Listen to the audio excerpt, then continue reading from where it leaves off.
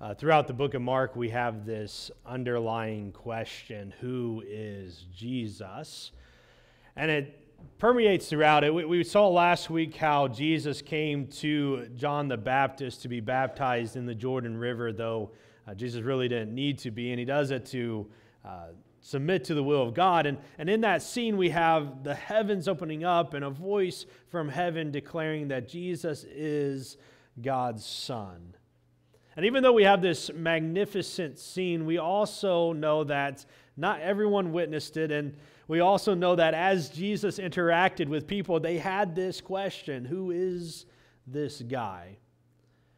Mark, throughout his gospel, wants to communicate exactly who Jesus is. And so he gives us pictures of what Jesus does, and he tries to fill in this image for who Jesus is.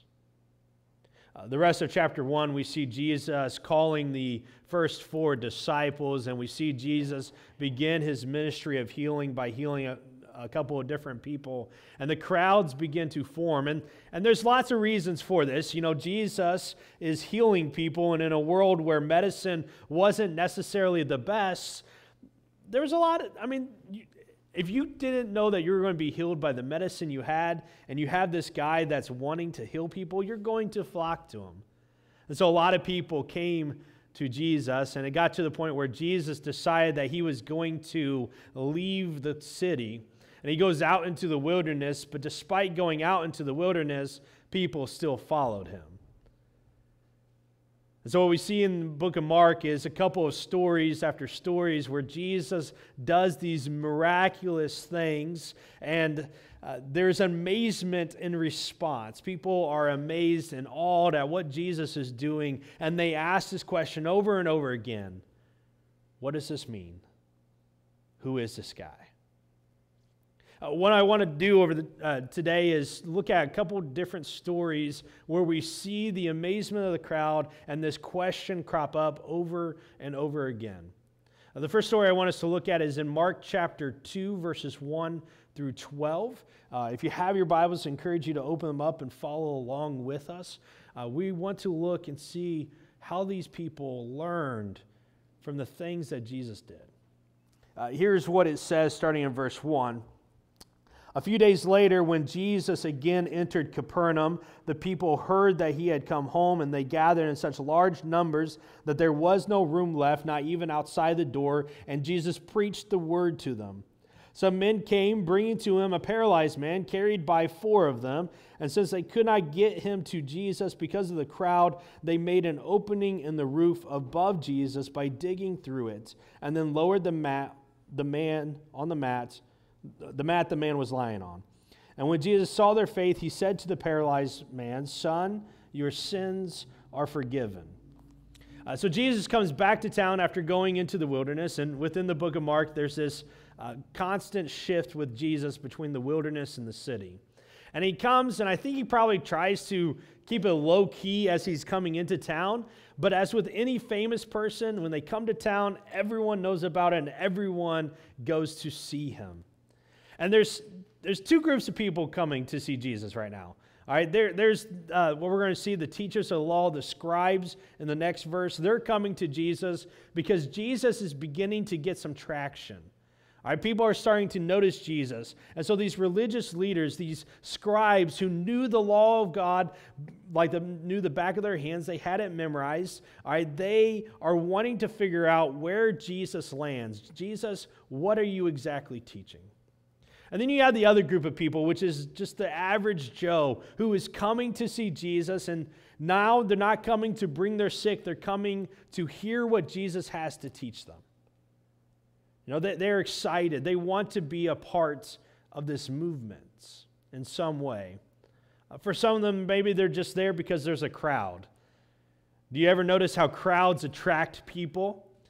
Maybe you're in high school and there was a crowd in the hallway and you went to see what was going on, right? Maybe it was a fight, maybe it was something else. I guarantee you, if we went downtown today and we stood outside of Dave's shop and we all looked in the store and we we're oohing and awing, there would be cars that would stop to figure out what we were doing. Crowds attract people. And I think what happens is a small group of people come to Jesus to listen to him, and people see the crowd and they just come and more and more. And some of them can't even hear Jesus because he's in the house and they're not, but they're there because of the crowd. And we're introduced to these four friends who have a friend who is paralyzed. Uh, most likely, this was a result of an accident, not that he was born this way. Uh, the handicapped in Jesus' day were not treated very kindly. Uh, today, we do a lot of things to help them out, and we're not perfect in any way, shape, or form, uh, but we do more than what they did. You know, they would often leave their handicap on the side of the road to beg because they didn't have enough money to take care of them themselves. And so everyone in the family was required to do something, even if that was begging. And so, for this man to have four friends, it likely means that he wasn't always paralyzed, but something has happened and now he is. And so they're carrying Jesus to, they're carrying this friend to Jesus. And as they get to the house, they notice that there's no way that they're going to be able to get through that door. You know, no one's going to shift to let them carry their friend in. And so they go out to the back to where the stairs were and they climb up onto the roof and they find out where Jesus is. They probably can hear him through the roof and they start to dig. And I wonder whose idea that was or who had to repair it. And as they dig, they, they lower the mat down into Jesus, and Jesus watches it all happen, and he says to the man, Your sins are forgiven. And that's interesting because this man can't walk, I wonder how much he was really concerned about his sins. You know, I think the expectation of the friends as they're lowering G- the man down is Jesus, make him walk again, make him walk again, make him walk again. And suddenly they hear, Your sins are forgiven. And I wonder what the shock went through there. But I think Jesus looks at the man and he knows that there's something more than just not walking that's that's troubling this man. That this man is eat up on the inside because he is messed up in some way. And Jesus recognizes that and says, Your sins are forgiven. Uh, interestingly, in the Old Testament, there's this idea of a connection between our sins and physical ailments. And when we sin, there is often a physical side to that. And so I wonder if this man, as he's laying there day after day on the side of the street, thinks about the sins that he has and why he's in this position. And I wonder if it's just too much for him. And Jesus, recognizing that, addresses the most important need, which is forgiveness in his life. Well, not everyone in the crowd is excited about what Jesus has just said. We read uh, the rest of the story in verses 6 through 12, which says this Now, some teachers of the law were sitting there thinking to themselves, Why does this fellow talk like that? He's blaspheming. Who can forgive sins but God alone? And immediately Jesus knew in his spirit that this was what they were thinking in their hearts. And he said to them, Why, why are you thinking these things? Which is easier to say to the paralyzed man? Your sins are forgiven, or to say, Get up, take your mat, and walk. But I want you to know that the Son of Man has authority on earth to forgive sins. And so he said to the man, I tell you, get up, take your mat, and go home. And so he got up, took his mat, walked out in full view of them all, and this amazed everyone. And they praised God, saying, We have never seen anything like this.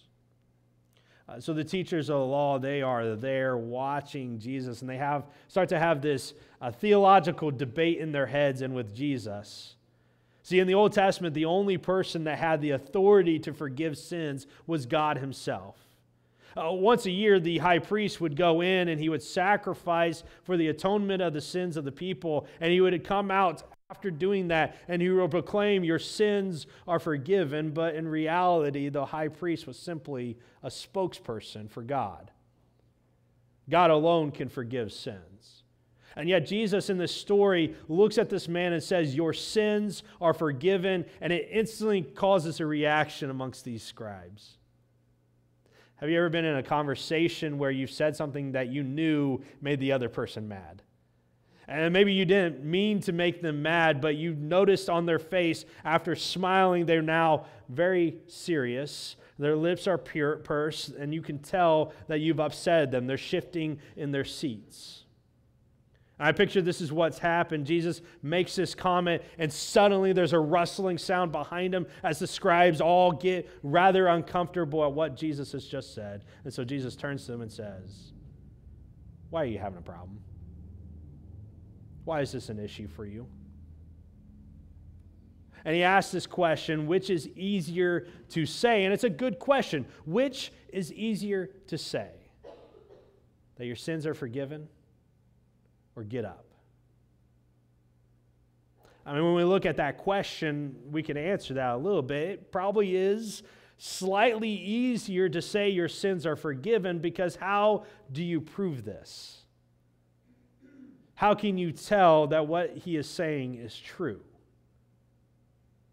That, that's a hard one, right? Because we, we don't have the ability to truly forgive sins. God alone has that ability. And so if I say your sins are forgiven, how do I prove it? Whereas it's a little bit harder to say that get up and walk, you're going to be healed because it's instantly verifiable. Did the man get up? And so Jesus, in this discussion, says, I want to show you that I have this power. And so he says to the man, Get up and walk. And by his actions, he proves that he can forgive sins. Jesus is powerful. And he's powerful enough to give radical forgiveness in your life. There's a lot of times in our lives where we just beat ourselves up after we've sinned because we know that what we have done has disappointed somebody. And maybe it's ourselves. Maybe we're hiding our sins because we know that if our, our family or our loved one knew what we did, that they would be disappointed in us. That we had let them down. That we had broken relationships because of our sins. And we can eat ourselves up time and time again and the thing that we really need in those moments is forgiveness. We need the forgiveness that only Jesus can give us. And Jesus is more powerful than the deepest sins that you have in your lives. And if you'll let Him, He can forgive you. Uh, the second story I want us to look at comes in Mark chapter 4. Uh, just a couple of chapters later, it's in, starting in verse 35. And we read about this amazing event taking place. Uh, Jesus had spent the entire day teaching the people, and the crowds had again gathered so thick that he had to get in a boat and push a little way off from shore and created this nice little amphitheater so that everyone could hear him. So we get to the end of the day, and we're told that as the day came, uh, as evening came, the, uh, he said to his disciples in verse 35, Let us go over to the other side. And leaving the crowd behind, they took him along just as he was in the boats. And there were other boats with them, and a furious squall came up, and the waves broke over the boat so that it was nearly swamped. Jesus was in the stern, sleeping on a cushion. And the disciples woke him and said to him, Teacher, don't you care if we drown? And so Jesus got up, he rebuked the wind, and said to the waves, Quiet, be still. And then the wind died down, and it was completely calm. And he said to his disciples, Why are you so afraid? Do you still have no faith? And then we read about the reaction. They were terrified, and they asked each other, Who is this? Even the wind and the waves obey him. So Jesus, after this long day, decides that they're going to go to the other side, and he falls asleep because he's exhausted. And as they're going, we find this storm crops up. Uh, the uh, Sea of Galilee is in a basin, and it's kind of interesting how it all works. Uh, there, there's a wind tunnel in the south southeast that, that kind of causes the wind to just blow through, and suddenly these storms would appear without warning. Uh, oftentimes they came in the day and early afternoon, and so you would see fishermen fishing on the Sea of Galilee at night. And so the disciples, as they're crossing this lake, they're doing it at night when there's not as much likelihood for a storm to appear. But a storm does appear. and it's a bad storm. And, and we can tell how bad it is by the reaction of the disciples. They are afraid for their lives. And remember that at least four of these disciples are professional fishermen. They spent most of their lives on this particular lake. And so they know how to handle sudden storms. And they themselves are afraid. And they go to Jesus and they wake him up and they say, Jesus, why are you still sleeping? And I think what they're wanting Jesus to do is grab an oar and help them along. Help us, Jesus. But Jesus does something different. He gets up and he rebukes the wind. Literally, he tells it to be muzzled. And we have this calming of the storm almost instantaneously. And Jesus looks at his disciples and he says, Why are you afraid? And they're terrified. Now, not because of the storm, but because of Jesus. And they're asking the question who is this guy? Jesus, in the midst of this chaotic situation, brings peace in the lives of his disciples. And there's a lot of times in our lives where it just seems to be out of hand where chaos comes and we don't know what's going to happen next, and we don't know how we even feel about the situation, and we may even be afraid for our lives. And it's in those moments that we need Jesus to step in and give us peace. Story in the Old Testament about David goes like this He was looking out on his city one day and he saw this beautiful woman who happened to be married. And even though he knew she was married, he committed adultery with this woman, and they had a child, a son. And the son became very sick, and David, for a week, for seven days, will pray to God, will fast, will beg God, please bring healing in this situation. And it was a chaotic moment in the life of David where he didn't know what was going to happen next, and he desired for his son to be healed, but his son eventually died. And when his son died, David got up and he went and he sacrificed to the Lord and he got bathed and he made himself presentable. And it was such a shift in what had happened that his servants come to David and said, David, why are you acting this way? And David says it's because of God. And David, in the midst of the chaos of his life, of losing his son, finds peace because of God. And these disciples, in the midst of this chaos of the storm, finds peace because Jesus is powerful. He is more powerful than the storms that come into our lives. And if we will allow him, he can bring peace to our chaos. Uh, the next story I want us to look at is found in, in chapter 6 of Mark in verse 45. It's the second of the water miracles in the life of Jesus. Uh, it goes like this Immediately, Jesus made his disciples get in the boat and go ahead of him to Bethsaida. While he dismissed the crowd, and after leaving them, he went up on the mountainside to pray.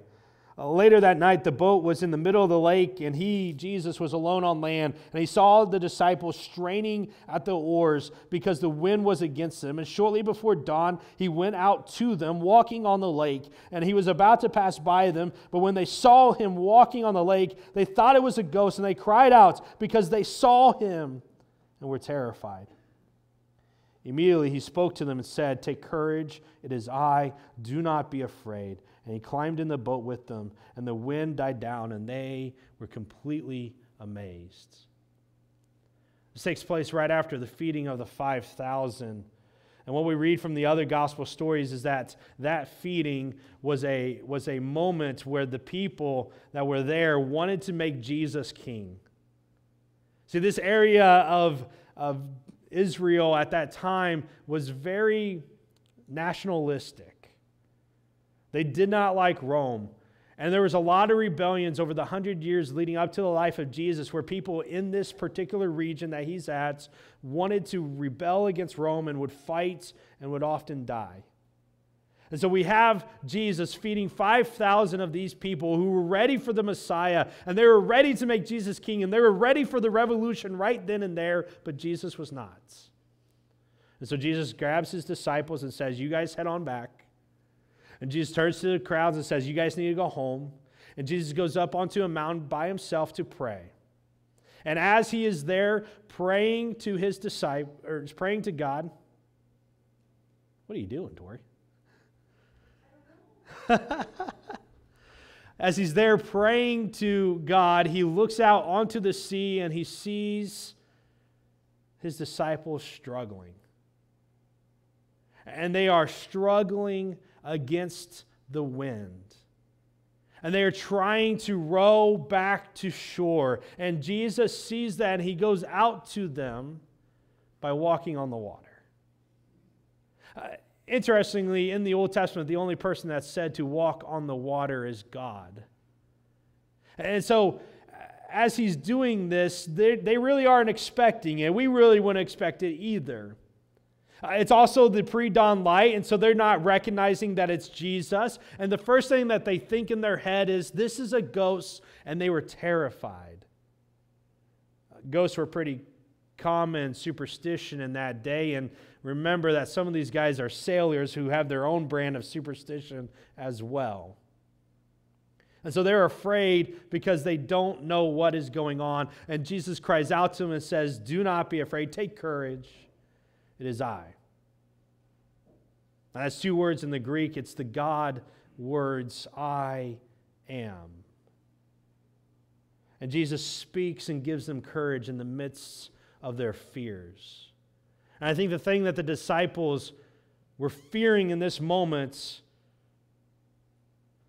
was the fear of the unknown, of not knowing what this was that was coming at them.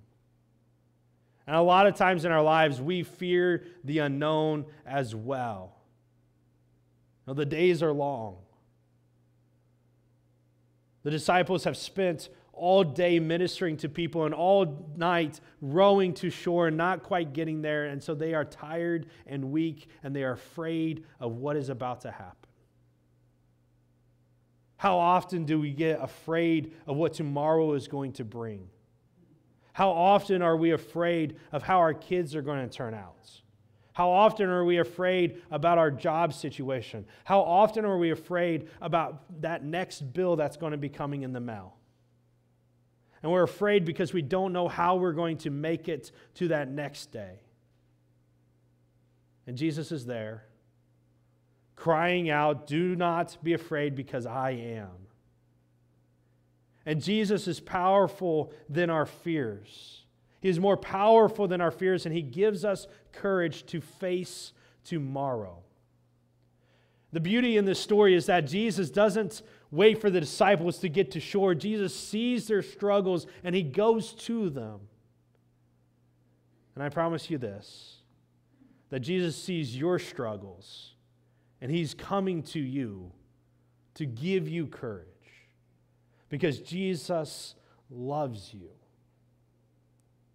In 1 John 4:18 we read that there is no fear in love, but that perfect fear, love casts out fear. And we have a Jesus that loves us so perfectly that he wants to come and give us courage and cast out the fears of our lives if we'll let him. The final story I want us to read is, comes from Mark chapter 7. Starting in verse 31, Jesus, we're told, left the vicinity of Tyre and went through Sidon down to the Sea of Galilee and into the region of the Decapolis.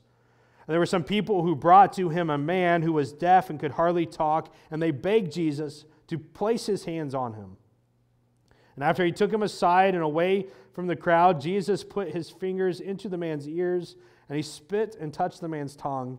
And he looked up into heaven and said with a deep sigh, uh, that word, uh, which means be opened.